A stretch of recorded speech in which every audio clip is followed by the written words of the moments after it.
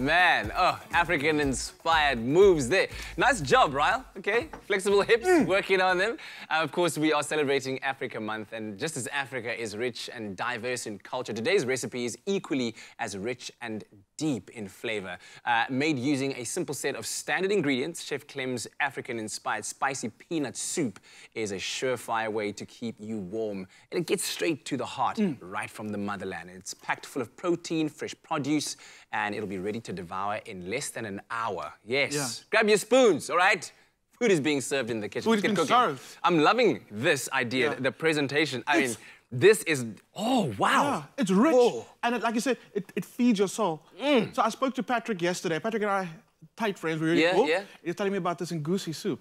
But I was like, where'd I find all these ingredients? So he said, after the lockdown, we're going to get back in the kitchen together. He's going to actually come and cook with us. We're going to make that Egusi soup. So then we spoke about some other soups. One of the soups we mentioned was like a peanut spicy soup. And like you said, you know, Patrick's, he's the ma- man's swole. Yeah, yeah, yeah, yeah. about the protein. comes from, from the peanuts. I mean, so he, this is Patrick approved soup today, So let's get right to it because Yeah. I'm very keen to try this out at home, Okay. especially because it involves kale, and I've never really known how to use kale properly. So here we go. This one's quite cool. I mean, um, because you cook your kale down, you, if you want it quite soft, soft, soft, Yes. cook it a little longer. But I like cooking it just where it still has a little bit of texture, a Yeah. little bit of chew to it. But yeah, um, kale is amazing. It's so good for you. Any leafy green, you know it's doing its job. Yes, Yeah. man. Yes. So Okay, so onions, you got some red onions in red there, onion, no? you can use white onion because we're gonna kind of cook it down nice and low and slow, cook out the sugars in there so it Mm, caramelizes. To that, ginger and garlic. Now, here's the thing about the ginger.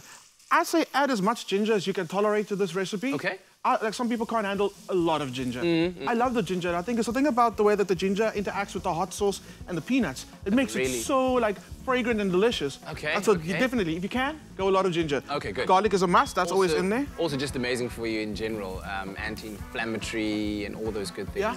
So, especially this season, you know, the flu Mm-hmm. season, um, this is uh, something you want to get into your body to help your body. Absolutely.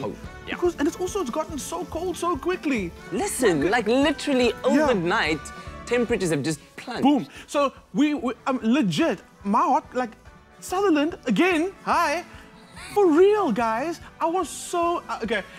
Africa month. You know what? I feel bad. I feel bad as a South African. I've never traveled to Sutherland in the Northern Cape. So when lockdowns are like like it's done, Yeah. we start traveling. You're Sutherland, hook me up. I want gonna come visit, Sutherland. but I want to be there. One of the camera guys was telling me Sutherland's mountains right now, snow, Oh my god. snow. Listen, if you've got any pictures of it, please Yeah. send it to us uh, uh, on our uh, Facebook page. Absolutely. We'd love to, to see what's going on in Sutherland. And man, I really hope you're finding a way of keeping warm. Yeah. Even if it's just cooking a, a beautiful recipe like Uh-huh. this and um, staying warm at home. I, I can't stand getting cold, hey? I love the cold. one, no, Uh, no, because it makes me Clem, we are not friends. It makes me want to cook when it's cold. I'm just like, come, let me feed you. I become so miserable when it's cold, eh? Do Oh, you? Just mornings are horrible. Everything is horrible. I, ah. because I'm but you know, like got very little between the, the, the skin and. I you came know. prepared. I came prepared. I'm ready for winter. I'm ready. So, I, I forgot all of that in the womb, man. okay, you want to cook the garlic and ginger until it's nice and fragrant, onions are nice and soft. To that, we're going to add some tomato puree. So it's got a Yes. lacquer base. We talk about this all the time. If we're using tomato in a recipe, we talk about it actually previous segment. Yeah, yeah. Using tomato in a recipe, it's going to taste delicious tomorrow. Ah, I yes. love about this recipe. So when you do make the soup, make sure you make a big batch of it. Okay. Absolutely. Good. Listen, while you're doing that, what's the secret to? Because uh, like Monique made um, spaghetti bolognese yesterday, right? Mm-hmm. Beautiful, beautiful, beautiful. And then she's like, it's too. It's too sweet, it's too acidic. I don't know what the flavor profile, that umami. Yeah. To get the, the best flavor out of tomato, what's the, the best way of doing it? The best way is remember, tomatoes got a very high percentage of water in it, and water dilutes flavor. So if you can, like a tomato puree, where basically what they've done is they've removed some of that water. They've either like put it in the oven at low temperature, let it dehydrate, intensify the tomato flavor. So bolognese or ragu, based on that principle, mm. if you want a very rich, intense, umami-filled bolognese, Yeah. what I do is I start the cooking process on the stove and put it in the oven. Let all that excess moisture evaporate. Let it get thick and delicious. This is how we talk about food. Get it super deep and intense. Yeah, That's yeah, a good bolognese. That's Love a good it. Okay, bolognese. all right. Okay. Look at it. Oh yes, we're supposed to be cooking. Okay, tomato tomato puree is in there, and what I like about it is I actually use quite a bit of olive oil in the beginning Mm-hmm. because um, I like rendering out the tomato flavors in the oil. We spoke about oil carries flavor really well, Yeah. which is good because I'm using hot sauce. From your bag. yeah, this is straight, this is my second supply, other side. This is really great. You can use spices, but I like the fact that the sauce has got all the flavor in there already, so it had time to develop. so with stuff. adding your hot sauce in, this is a habanero sauce. Ah, But hey, yeah, but, but hey, listen, oh, okay. hey, hey, what are you trying to do? I mean, It's it's okay. It's gonna take. It's gonna spend quite a bit of time cooking, so it's gonna level out. I mean, just you know, it's okay. That's, that's fine. That's enough. Go. Okay.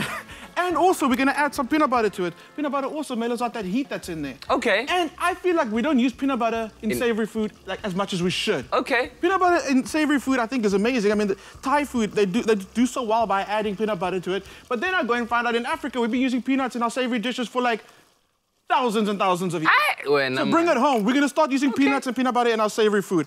And I like adding it. This is a no sugar, no salt peanut butter you get at Woolies. Uh-huh, So as, can- as natural as it comes. yeah, exactly. And you can regulate how much sugar, how much salt you want to add to this.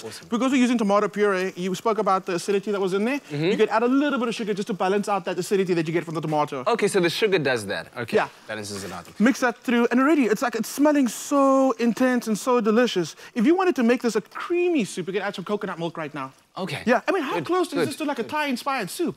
And this is Africa. It's getting This is so delicious. Well, we're cross-pollinating the, the recipes like we did it. earlier. I love it. well, so- But also, if you think about like how much we spoke about spice.